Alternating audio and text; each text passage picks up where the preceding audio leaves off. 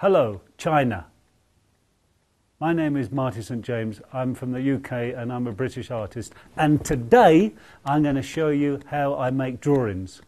That's what I'm going to do. Okay? Xie Good. Okay, so here we are on the Yellow Mountain, and uh, we're in amongst these wonderful mountains in China, which are which you could, if you wanted to, as an artist, you could uh, photograph, or you could video, or you could draw. Today we're going to draw, uh, and we're going to think about drawing in, in two different ways, really, uh, as such. But we'll come to that in a minute.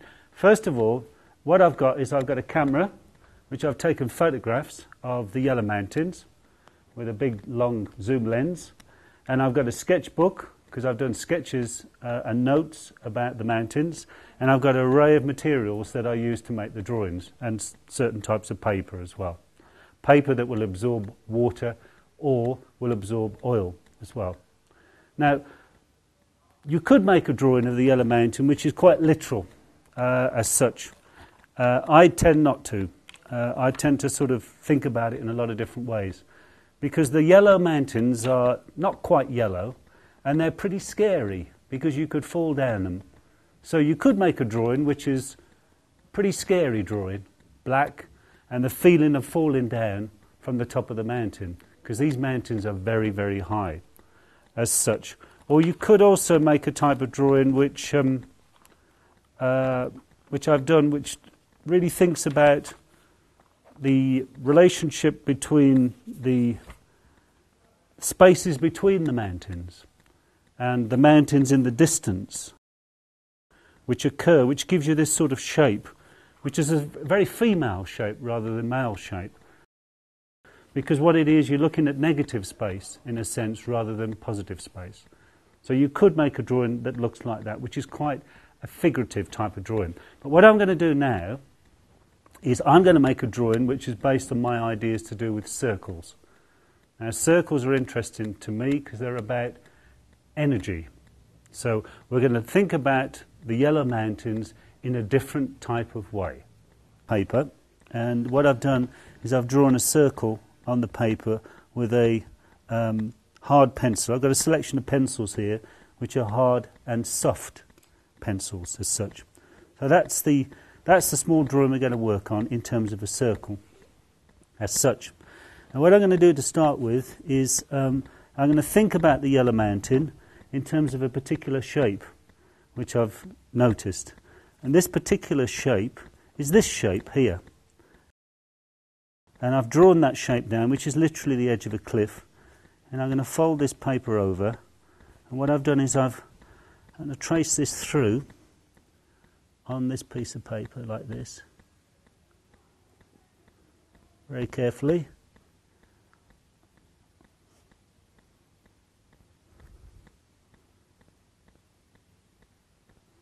All the way down to the bottom of the cliff. And then what happens at the bottom of the cliff, there's a piece of rock sticking up there. This is enormous. This is a tiny drawing, but the rock is enormous. What that does is it gives us the cliff on that side, and if I follow the line back up on, it's a bit hard that, softer pencil. If I follow that line back up, like this,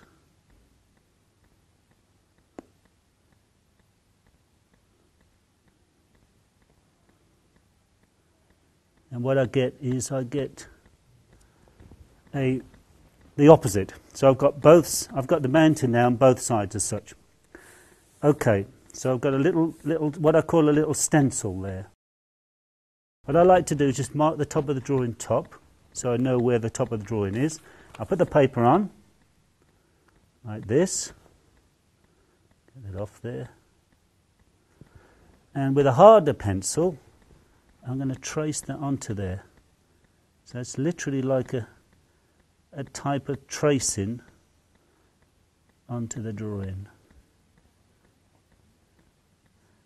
Just where it comes off, I'm just going to give it a little flick because that's what I like to do. Give it a little flick. It goes all the way up there. Just a bit there. Back up. Another flick. When I take that off there, we're left with that. We can follow that round again. That gives us the mark we want on the paper. And on the other side as well. So it's symmetrical, which means it's more or less the same both sides. More or less, not definitely. Okay, so that's our first drawing on there. And what I'm going to do now is I'm going to do a spin to there, and we're going to carry on that way. You can cut for a minute now then, because what I'll do is I'll do.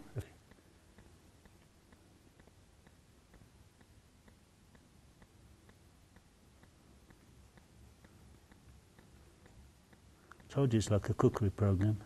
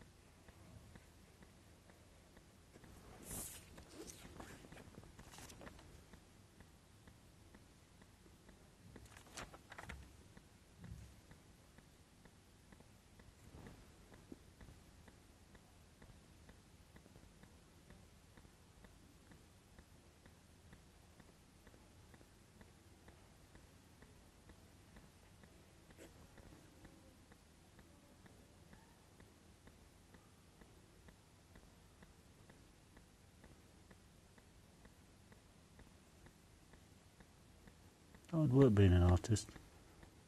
Be very patient.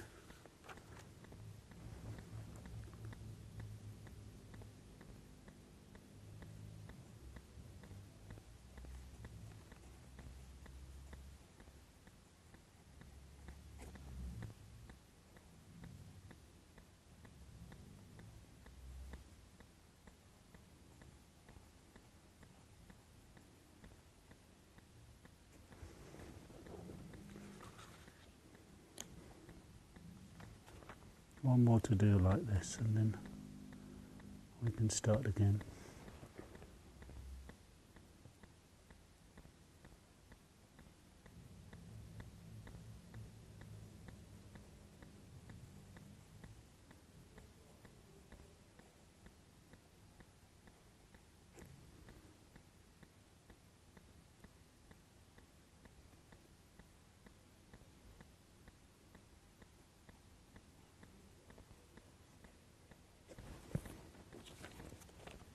Just is it on, is it? Always make sure you keep the pencils nice and sharp. But when you've got them sharp, what I like to do is just click the end off the pencil like that. That way it doesn't cut the paper. If it's too sharp, it'll cut the paper.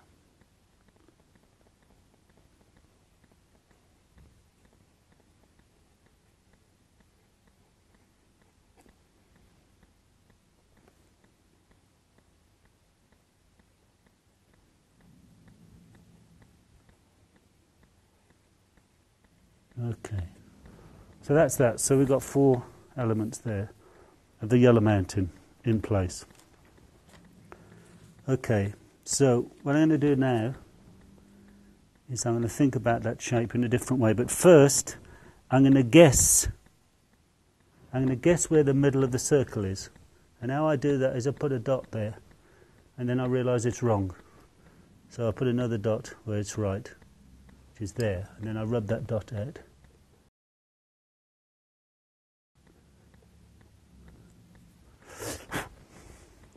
And now what I need, which I haven't got, is I need a little a little circle. So I'll use this. Ah, perfect. Thank you. Is it clean? Excellent. That's a big circle, which is quite nice. Let me have a think. Let's have a think a minute. Okay, so it's got to be that side. Okay. So you've got to guess where the middle of the circle is. You can measure it, but for the purposes of this, I, won't, I usually measure it, but not today. And with a, again, with a, a fairly hard, hard pencil, you find a little circle in the middle.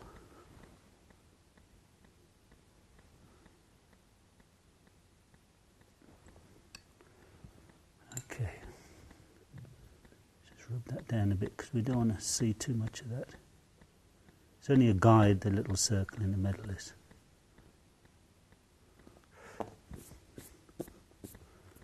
And what we're going to do now is going to work with a very hard pencil. And I'm just going to look at that shape again. And I'm going to say hello to it. Like this.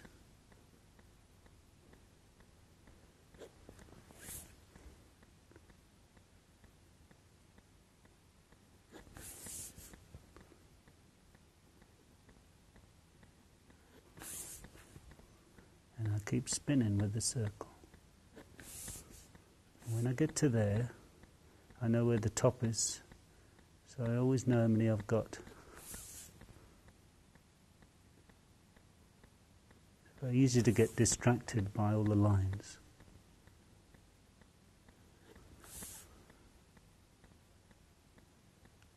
You mustn't look too close. It's a bit like looking down a ravine or between two mountains. You get scared if you're not careful. So you, you mustn't look too close. And it's the same with the drawing. You mustn't look too close at the drawing. Otherwise, what happens is the energy goes in the wrong direction.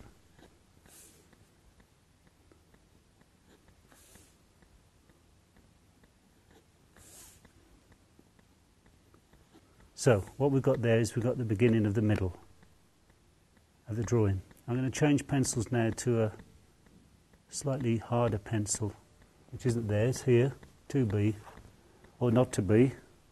And once again, I'm just going to snap the end off the pencil so it works better that way.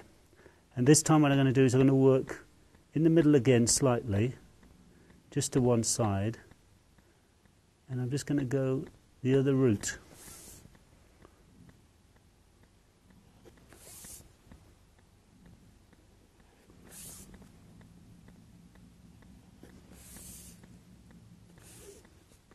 It's not sharp enough, so sharpen the pencil a bit.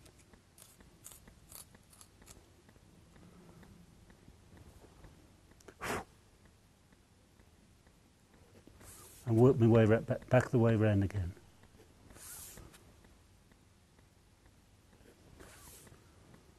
It's a nice feeling because what happens is you get into it, you get the energy of it.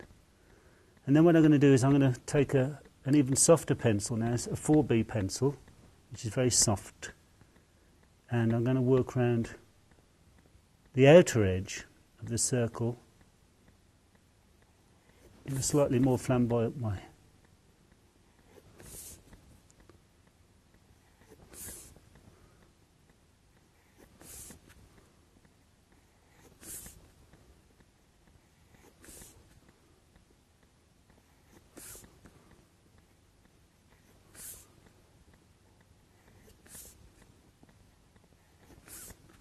This is the bit where you get excited a bit. Drawing can be excited, which I think it is. You start to build the drawing up now. It's a bit like sex. You work with it until it satisfies you and satisfies the drawing.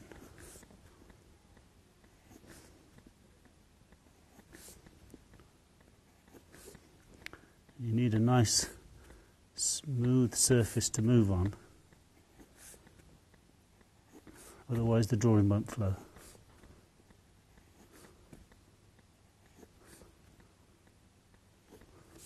So, that's the that's the middle part of the drawing as such. We can cut there for a sec. Yeah. Okay. Okay, so that's the, the middle part. I think sort of feels right. Now, what I like about that is the fact that the energy is there. So the, the drawings are about energy. That's what they're about because these mountains are about energy. They're about gravity, you fall. They're about the sense of being. They're about phenomenology. They're about consciousness. They're about wonderful things, spiritual and poetical things, but they're also about life and death because they're very dangerous but very beautiful. So they remind us that we stick to a planet, to a globe, which is why these drawings are circular in that way. This is reminding us of where we are on the planet Earth, spinning through the universe. So, so here we go again, and this time what I'm going to do is I'm going to work at the bottom of the drawing on the outside of the circle. The top's there, and I'm going to start just to one side here, and I'm going to go right across the drawing as such.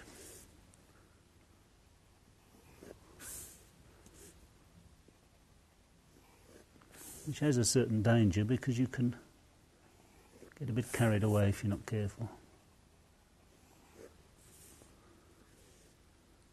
And I hope this drawing is staying in the middle for us.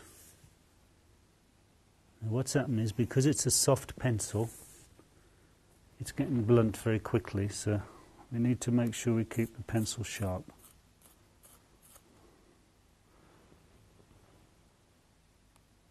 Snap the end off, and off we go again.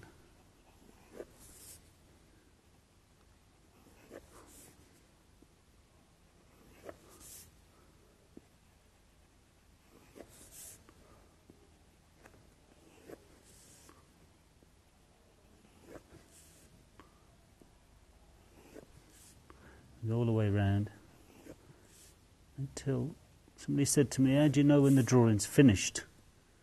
Well, the drawing tells me when it's finished. I don't tell it when it's finished as such.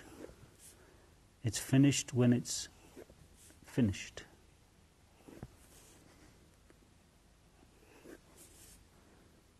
And when it's not finished, it tells you I'm not finished. So it's about the idea of that's upside down, which is good. We mustn't lose our place in the world on the drawing in the circle. So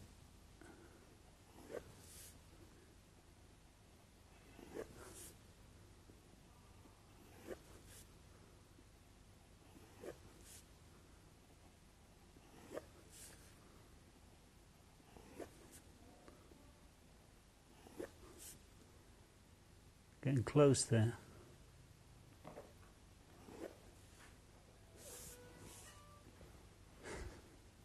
Typical.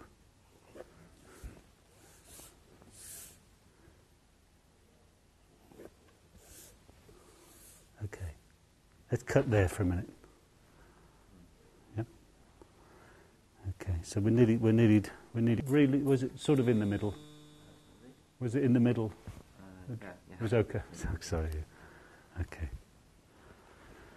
Okay. Um, I'll just put one more there because I think that don't look right there.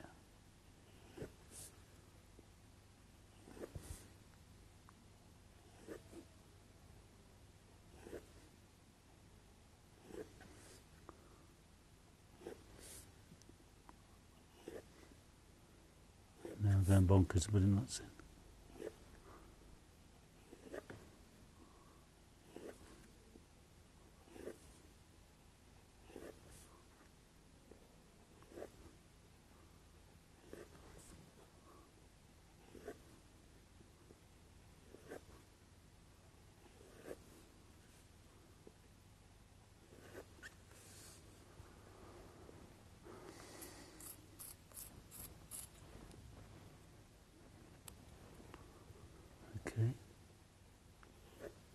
So this part's nearly, nearly done.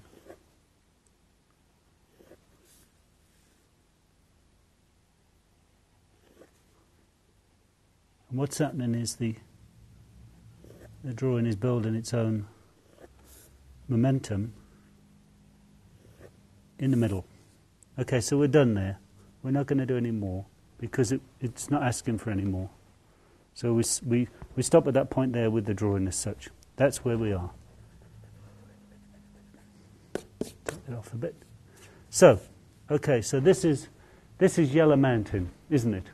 Yes, this is Yellow Mountain. So what we're, we're trying to do is, is locate the energy of the Yellow Mountain and our relationship with it. So what we need is yellow. So I've got some uh, concentrated uh, colour here, uh, which uh, we're going to use.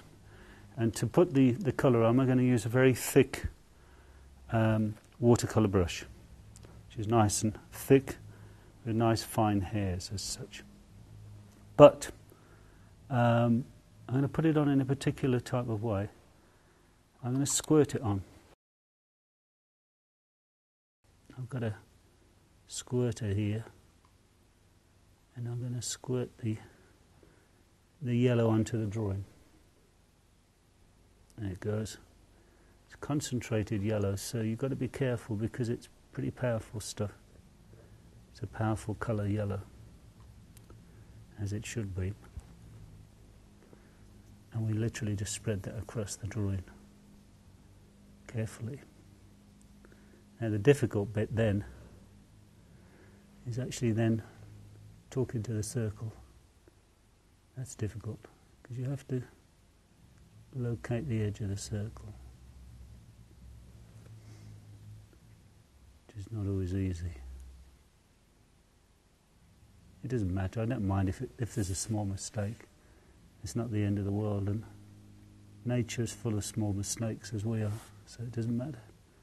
But this yellow is very, very concentrated, so it's very strong. Once it's on the paper, you can't get it off.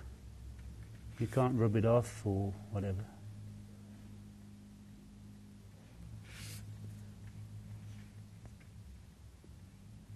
Brilliant. But you need a big brush because you've got to be a bit brave about it. You can't back off it. Okay, so that's done. So there's the yellow of the Yellow Mountain. So that's done. That drawing's done. That's finished. The idea is energy in the middle of the drawing. The drawing is about energy. That's what all the work's about, and about centeredness, which is what we need to be and where we are on planet Earth uh, as such. So that's, that's a finished drawing. So, as I was saying, we've got a series of pencils here. I haven't got the whole range here, but I'm going to show you a couple. This one actually is a H pencil. And what a H pencil does it gives you a rather grey uh, mid-tone type of line. Hard, thick, like concrete. Very difficult to... They go down very slowly because they're so hard. So a lot not a lot of pencil goes onto the page. This one is a, a um, HB, which is a little bit softer. And as you can see, it's slightly darker because more of the lead goes onto the paper. I don't really like the hard pencils that much, but they are very, very useful to use. This is a 2B. Now, in the B area, that means it's softer. So this will be softer again, and again you get a darker line. But they, they wear down fairly quickly. This one jumps up by four places because this is a 6B uh, as such, and you'll see that this one really does the business. It's very dark, but the trouble is you put a lot of lead onto the paper and the pencil wears down very quickly.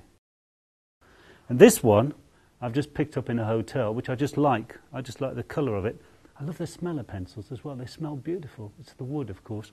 But this one is probably around about a 2B as such as well.